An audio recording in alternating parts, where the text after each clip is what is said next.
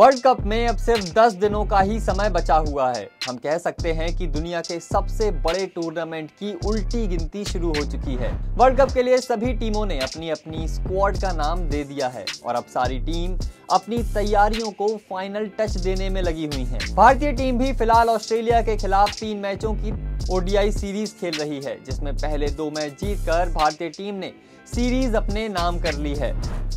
बीते कुछ महीने भारतीय टीम के लिए काफ़ी शानदार रहे हैं। टीम ने हर एक डिपार्टमेंट में, चाहे बॉलिंग हो या बैटिंग काफ़ी शानदार प्रदर्शन किया है। बात अगर बल्लेबाजी की करें तो टीम की शानदार बल्लेबाजी की सबसे बड़ी वजह रहे हैं शुभमन गिल।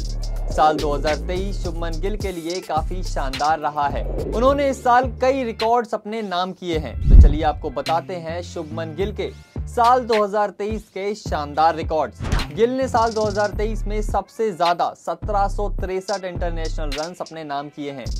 इस दौरान उन्होंने 2023 में सबसे ज़्यादा सात शतक भी जड़े हैं।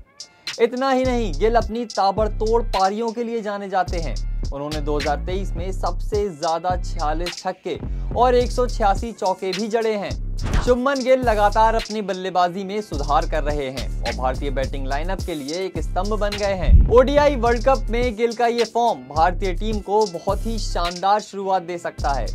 अगर गिल के साल 2023 के ओडीआई प्रदर्शन पर नज़र डालें तो उन्होंने इस दौरान कुल 20 पारियाँ खेली हैं।